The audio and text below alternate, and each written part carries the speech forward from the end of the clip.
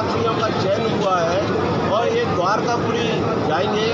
और हमारा प्रयास ये है कि ये लोग सफल और अच्छी तरीके से इनका भोजन पानी रहने का खाने का सब इंतज़ाम हमारे आदरणीय मुख्यमंत्री शिवराज सिंह जी चौहान ने उठा रहे हैं उनकी सरकार उठा रही है। और अगली बार हमारे प्रधानमंत्री का ये प्रयत्न है कि ये लोग वायुयान द्वारा तीर्थ यात्राएँ करें और ये सब लोगों को आशीर्वाद दें। जय शिवराज सिंह चौहान चौहान की जय हो। हमारे जो मुख्यमंत्री मध्य प्रदेश के शिवराज सिंह जी हैं।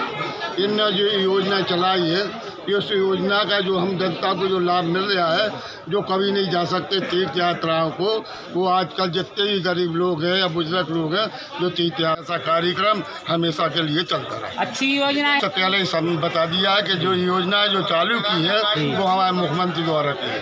आशीर्वाद ही और जनता का आशीर्वाद ईश्वर का आशीर्वाद सबसे बड़ा है।